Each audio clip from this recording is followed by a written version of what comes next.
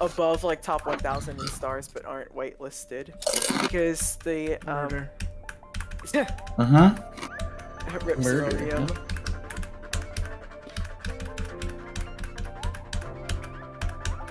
I believe Zeronium's in that category, right? No, it's not. I think he doesn't have enough stars for the top 1000. They have 30,000. That's definitely enough.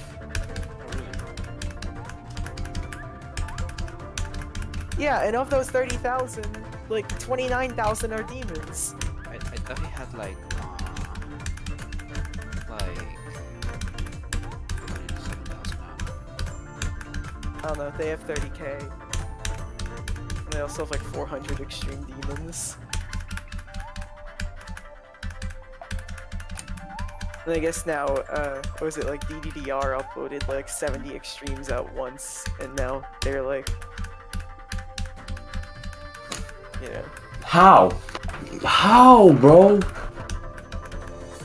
Like, I'm I'm selling so Alright, hard. Mariana. Cool, cool, cool. great. No, It's a good level. Yes, for sure. This was definitely a good level. I had decent fun with this. He's Let's pro. see, 247 attempts. Yeah, fairly easy and sane even.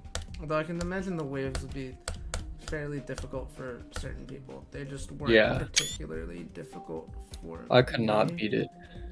Yeah, no, I, I thought this was a pretty solid level overall.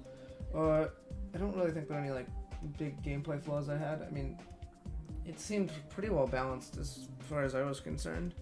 Uh, yeah, no, definitely a level worth checking out because pretty underplayed.